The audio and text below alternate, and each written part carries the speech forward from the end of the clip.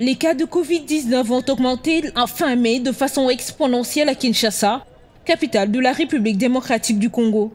La remarque a été faite par l'OMS en RDC dans son dernier bulletin hebdomadaire.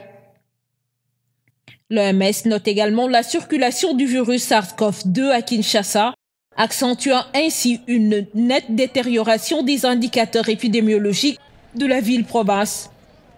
Cette information est confirmée par un responsable du ministère de la Santé sous couvert d'anonymat, qui a lui aussi constaté que la troisième vague de Covid-19 est déjà là. Il s'agit des variants indiens et sud-africains. D'après lui, cette vague risque d'être plus meurtrière que les précédentes parce qu'il y a eu relâchement dans l'observation des gestes barrières. La population est invitée instamment à se faire vacciner pour qu'enfin on limite cette propagation de Covid dans le pays.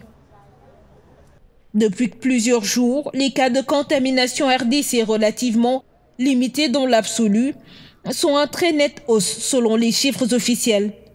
243 nouveaux cas ont été ainsi identifiés jeudi, dont 161 à Kinshasa, où les contaminations tournaient au maximum autour de quelques petites dizaines ces dernières semaines. Au 2 juin, ces chiffres font état de 32 166 cas confirmés pour 789 décès.